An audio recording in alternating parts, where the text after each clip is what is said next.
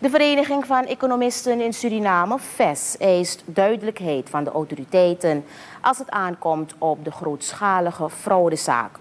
Deze week werd in de Nationale Assemblée onthuld dat een aantal miljoenen onrechtmatig door de centrale bank zijn uitgekeerd aan derden.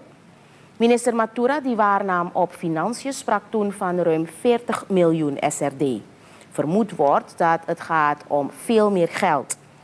VES-voorzitter Steven Dibby zegt dat er heel snel een uitleg moet komen over de financiële blunders welke de afgelopen tijd zijn gemaakt.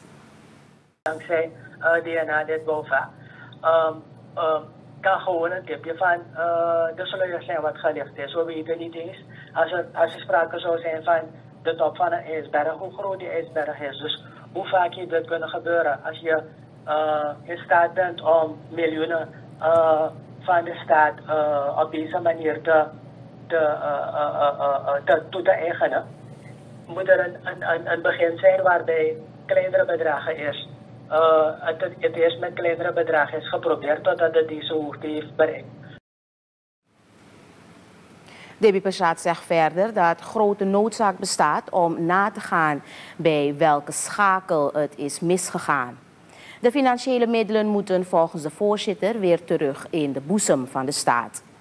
Dus op het moment dat we constateren dat niet één individu um, voor um, uh, het uitbetalen, uh, eigenlijk het, het accorderen en uitbetalen verantwoordelijk is, maar een heel systeem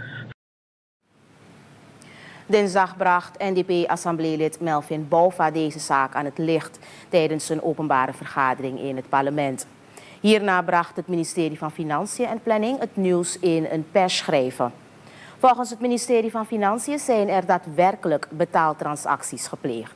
Het gaat onder andere om 14 miljoen SRD op 25 april en 26,9 miljoen SRD op 14 juni. Dat is overgemaakt op rekening van derden. De zaak is volgens het departement op 28 juni aan het licht gekomen. En de opdracht is toen terstond geblokkeerd.